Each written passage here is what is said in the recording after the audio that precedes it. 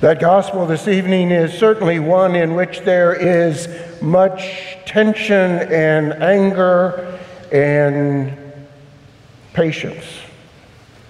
Those three things all went together there.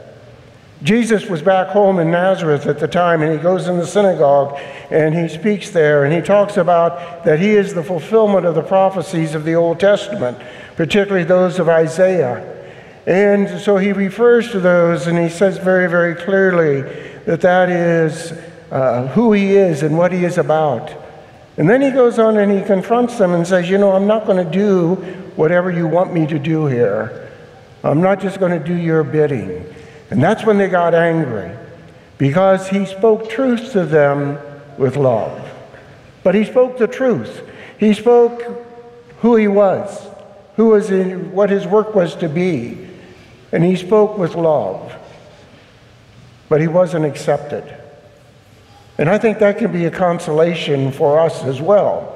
That there's so often that we want to speak the truth. We want to invite, we want to challenge, and even to do it with love, but it doesn't seem very effective.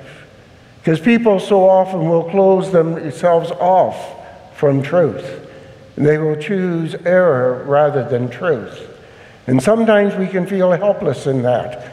I know of so many parents and grandparents who mentioned to me that their son or grandson or granddaughter no longer goes to church, no longer practices their faith. And they say, you know, I try to tell them and I try to talk to them about how important it is and how beautiful our Catholic faith is and how it is really so crucial. And we, we cannot put that aside, but they don't listen. And I think back to what Jesus said there no prophet is accepted in his own native place. That so often with family members, we can only be a good example and pray very hard. And those are some of the most important things that we can do. And to know sometimes people will be closed off from the truth. They will not accept that word of truth, that word of eternal life. That word of truth, I think, was closed off very quickly and very definitively in the last couple of weeks in New York legislature. I'm sure most of you are aware of what the legislature in New York, the state of New York, did in passing a new bill regarding availability of abortion. It is a tragic, it is a scandalous. It is an inhuman law that was enacted in New York. And it's being presented and touted as an ideal for others as well. Unfortunately, the so called Catholic governor was exultant with this particular law. And this particular law does terrible things. It talks about the right of abortion up to the very moment before birth very moment before birth, abortion can be done. And if a child is supposed to be aborted but comes out alive, the doctor has no legal responsibility to care for that child. Can let it die. It's really legalizing infanticide.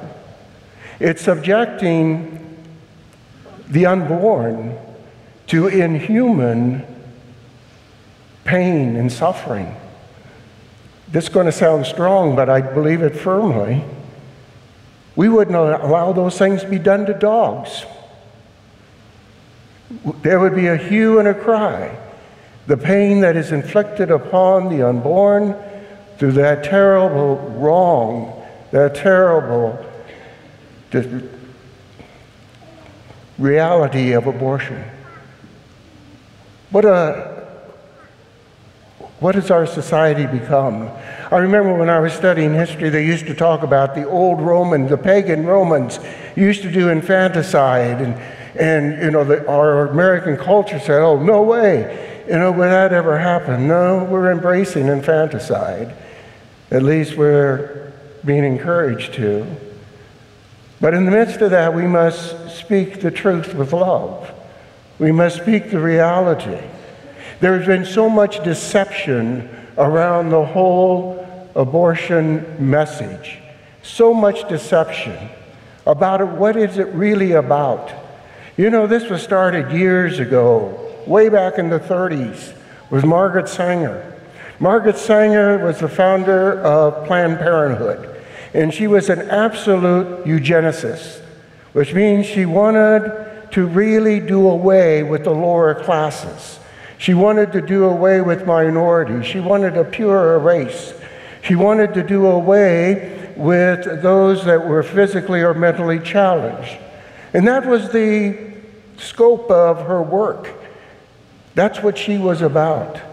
And that is what has been so often incorporated into the attitudes. And the Roe v. Wade decision, what deception and false information was put forward in that Supreme Court decision. If you read back through that, it, there's so much deception that is there. So many lies were told. They didn't even look at true science. They didn't look at the basics of biology. You know, the theme became, you know, my body, my rights. And yes, that, that's not a bad little theme. But once conception is place, taking place, it's two bodies and two rights. And the fundamental right is the right to life much more than the right to privacy. For over 200 years, you know, our legal system protected the unborn, recognizing their dignity and their worth. And then in Roe v. Wade and Doe v. Bolton, they rejected that. They rejected it and said no longer is that worthwhile. And it was based upon poor science it was based upon many lies. It was based upon false information. And it really was about social engineering rather than truly even the good of women. They talk about it in terms of reproductive health. Again, a nice thing. But really, it's not about reproductive health. Half the people aborted are women. How is it really about women's health when half of the unborn that are killed are themselves women? It's a challenging thing for us, and to realize that there is so much acceptance of this within our culture, within our society, and that we need to be more less complacent and not be complicit in such horrendous things that are going on within our nation, within our own communities. It's so important for us to speak the truth with love, to speak the truth with the compassion, recognizing that there's many, many victims of abortion. And it's not just the unborn who are the victims of abortion. So many mothers and fathers were duped into false understanding. So many young women felt they had no other option but to choose abortion. And they did so out of fear. They did so out of, of being petrified of what might happen to them or the responsibility that would be theirs. And so there are many victims to abortion. And we need to reach out with more compassion and understanding recognizing, yes, mistakes are sometimes made, but there needs to be that healing grace. Things like Project Rachel and other efforts to bring healing to hearts and to bodies, to lives. That that is so very important. To know the compassion and the mercy of Christ. That God will forgive any sin. God will embrace the sinner with forgiving love with his merciful care. That should be the theme that we bring forth in compassion for those who have been misled or who have made bad decisions in their life. And it's important for us to celebrate all of you parents who welcome beautifully life into your hearts, into your families. I know it's not easy always to raise children. But to receive that gift of life is a precious gift of God. To recognize those words of that were addressed to Jeremiah. You know, before I formed you in the womb, I knew you, and before you were born, I dedicated you. That those are not just words for Jeremiah, but they're every, every child conceived within the womb. It's for every child there. It is for God's precious love. And you, as parents, so beautifully welcome life into your lives, sharing that life and nurturing it and enabling it to grow. And what a great witness you give to the beauty and the dignity of human life. We are a nation that are greatly challenged. We are individuals who are subject to the attitudes of our cultures. But more importantly, we are called to know the truth. The truth that is scientifically true, as well as morally true. The truth that should be legally true.